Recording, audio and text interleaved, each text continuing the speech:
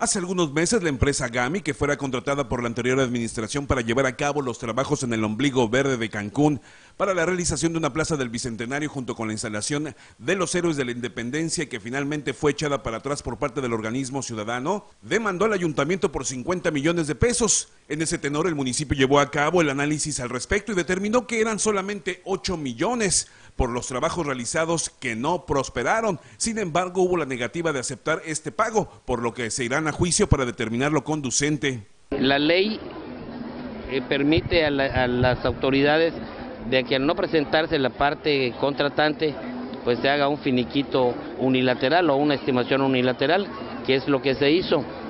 Esa estimación unilateral a juicio del ayuntamiento, eh, de la administración anterior, daba un importe eh, como de 8 millones de pesos para pagar de los trabajos eh, ejecutados. ¿no? Y es que las obras del malogrado ombligo verde nunca se terminaron, únicamente se afectó el área verde, informaron un gran hoyanco donde se construiría un estacionamiento. Sin embargo, al parecer a la empresa le quedaron mal y por esa razón demandaron. De lo que nos presentan a nosotros ahorita es que hagamos un dictamen si es correcto o no el trabajo que se hizo en la administración anterior con respecto al, a la estimación unilateral y realmente está muy bien elaborada, está muy bien hecha.